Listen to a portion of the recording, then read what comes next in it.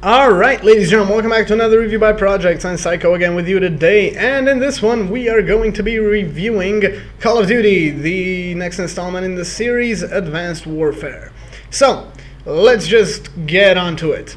Um, Call of Duty Advanced Warfare gives a new look onto the classic Call of Duty games with a kind of a more of a mo modern style, uh, modern futuristic style to the game.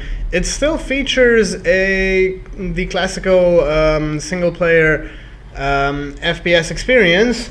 Um, as it did in the other Call of Duty games, but there have been some changes that have been made um, as far as the gameplay goes. First of all, it's the heads-up display, which is not the classical one as it was in the in all the previous installments, but um, the heads-up display is on the on the guns and um, firearms that you get throughout the games, so you don't have the heads-up display um, always on.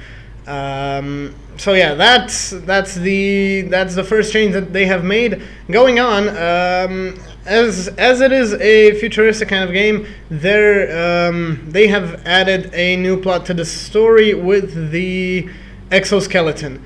Um, you as the main player have an exoskeleton which upgrade well which improves your abilities in combat and everything else. Um, and by completing missions, you can earn upgrade points to upgrade your exoskeleton to um, to get new abilities, to upgrade them, and um, kind of and well make it easier for yourself, or should I put it that way?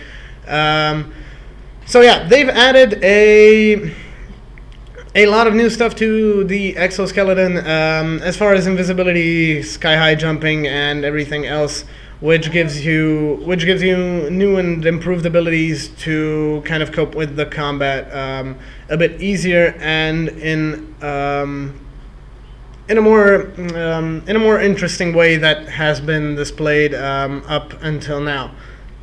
As far as the story goes. Um, the game is, as you can see, put in a modern futuristic style um, setting, um, and I'm I'm not gonna spoil the story for you because um, because it's kind of a a different look to the Call of Duty games and a great story as well. So if you like the Call of Duty games, I recommend it to all of you guys.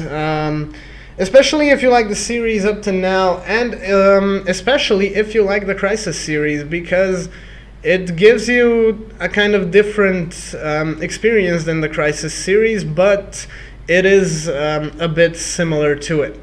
So yeah, that's um, that's pretty much going to be all from my side for this one. In the meantime, don't forget to like and subscribe, comment on the videos, and I'll be joining you guys in the next one.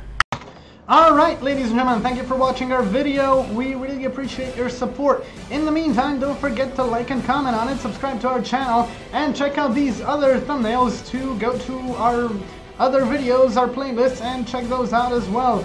Um, we really appreciate all the support from you guys, and I hope you keep enjoying our videos. So, that's going to be all from my side, and I'm going to be seeing you guys in the next one.